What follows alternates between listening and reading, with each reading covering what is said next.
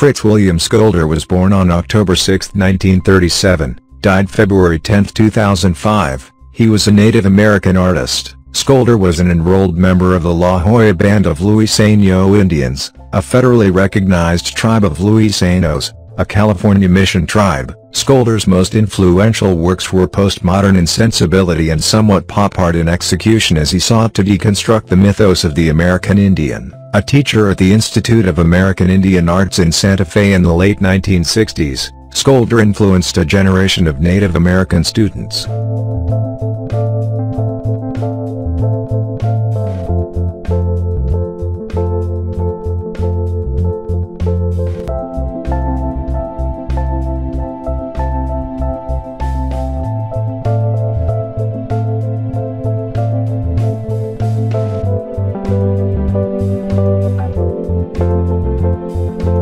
Thank you.